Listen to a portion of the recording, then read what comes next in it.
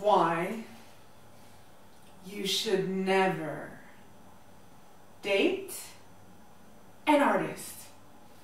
A guide to some of those that you should avoid in the creative universe, starting with one conceptual artists.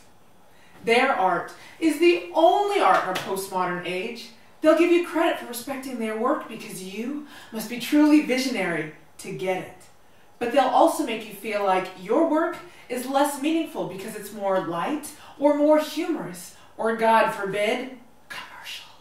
Yet they become hugely successful, going to these fabulous parties where they hang out with Peaches and fantasize about motherhood together.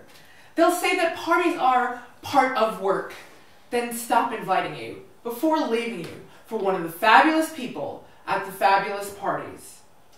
Two. They have an intense relationship already uh, with their instrument.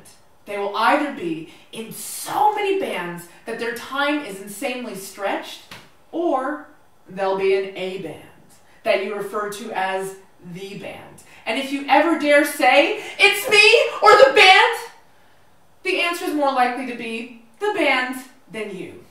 Their connection with the band, it makes you jealous, so you go to as many gigs as you can until you know the set as well, if not better than the band, who sometimes are so drunk they can just about remember the songs.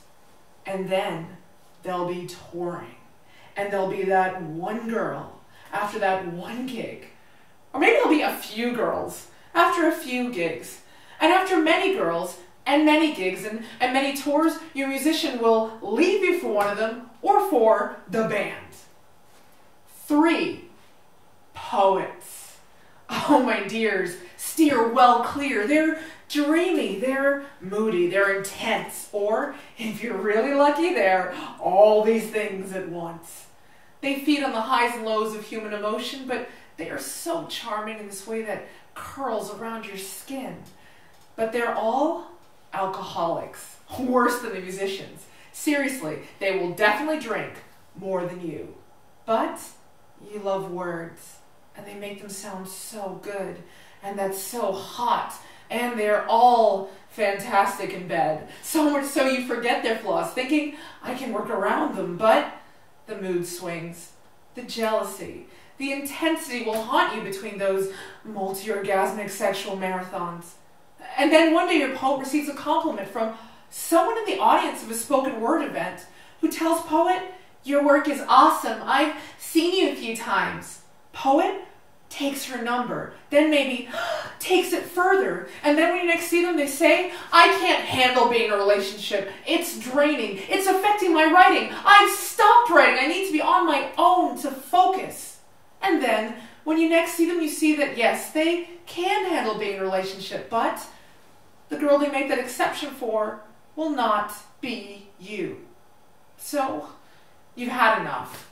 You go on a date with an accountant you go on a date with a brain surgeon. You go on a date with a social worker, but it's not working. You're going to give up altogether, and then you meet the web developer who is chilled out and totally into you, who may be able to make you a website. It's almost too good to be true. But you miss having debates about Turner Prize winners and one at dinner you wish that they would suggest a book for you to read for a change. You invite them to go to Wolfgang Tillmans show at the Tate and they don't want to go.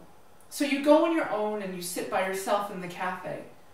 The person who sits next to you says, What are you writing in your notebook? And you're like, well, What are you drawing in yours? And honestly, you didn't see it coming.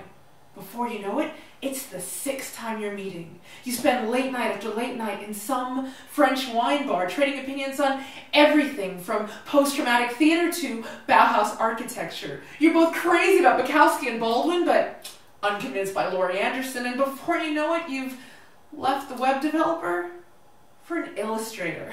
And the affair doesn't last, but who cares? Because now you know you are doomed to keep dating artists.